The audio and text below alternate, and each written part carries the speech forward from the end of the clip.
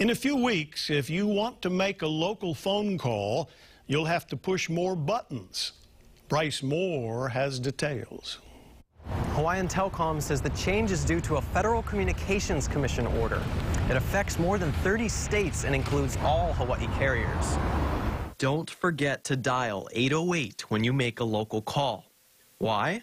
The FCC approved 988 as the new three-digit number for the National Suicide Prevention Lifeline, which goes into effect next July. States that used 988 as a prefix are having to make this transition to add the area code um, first, even for local calls. That's what's going to be required here in Hawaii, um, dialing 808 before any number, any local number.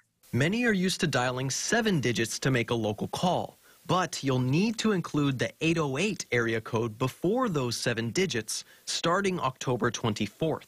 If you don't, your call won't go through. If they have their contacts saved in their phones without the 808, they're going to need to add that before October 24th. That's why it's important to, you know, do it early, right? You don't want to wait till uh, in two weeks from now.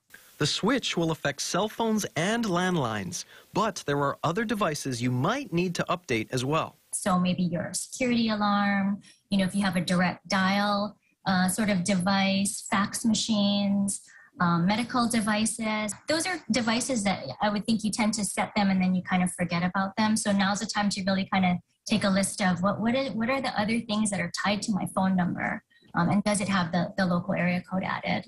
The Suicide Prevention Lifeline won't use 988 until next year, but the change to 10 digit dialing starts in just over two weeks. We'll have more information on our website, khon2.com. Bryce Moore, KHON2 News, working for Hawaii.